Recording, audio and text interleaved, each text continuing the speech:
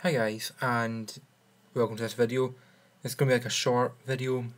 Yeah, sorry I've not been making videos recently, just I've got a lot going on, a lot of homework. but this video I'm just going to talk about uh, the card Sixth Sense, which is now official. It's going to be printed in the TCG. We've not had it printed ever. It's going to be printed in Legend Collection 4 Joey's World, so coming out on Friday.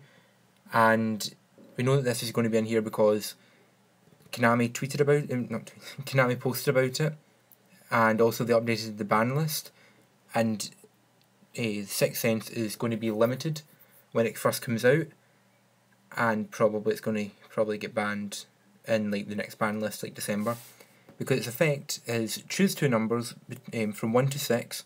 Your opponent rolls a die, and if the number rolled matches one of those numbers you chose, you can draw that many cards.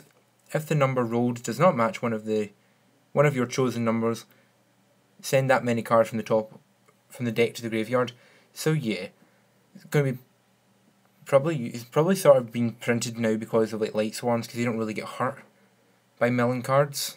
They sort of want to mill cards, and it's quite a really good card. That's why we've really we've never seen it because as soon as it came out in OCG, it was banned straight away. So, yeah, that's why they sort of weren't printing over here.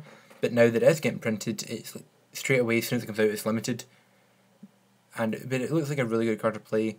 We're gonna have like a couple of months to play with it until it gets until it definitely probably gets hit in the ban list. But anyway, hope you enjoyed. Bye.